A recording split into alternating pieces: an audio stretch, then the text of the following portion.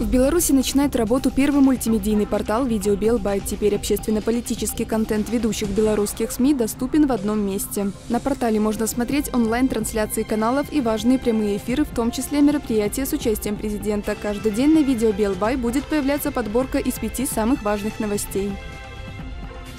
Заместитель премьер-министра посетил Бобруйско-Громаш. Руководство города и предприятия доложило Виктору Куранкевичу о состоянии крупнейшего производителя сельхозтехники. К слову, в рамках года качества на Бобруйско-Громаш было закуплено и внедрено новое оборудование. Машина лазерной резки листового металла повысит качество изготавливаемых деталей и узлов.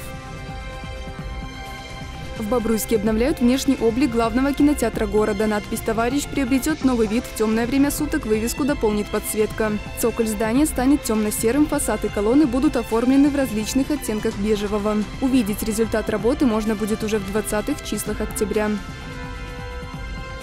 В Бобруйске прошел однодневный обучающий курс по вопросам реализации законодательства о труде и охране труда для руководителей организаций города. На встрече присутствовали главные инженеры по охране труда, председатели первичных профсоюзных организаций. Театр драмы и комедии имени Дунина Марцинкевича приглашает на открытие юбилейного 80-го театрального сезона. 13 сентября в 18 часов зрителей ждет премьера музыкальной комедии «Идиллия» в двух действиях. На сцене развернется переплетение фольклора и современности, силы и слабости, страданий и счастья. Стоимость билетов от 10 до 15 рублей.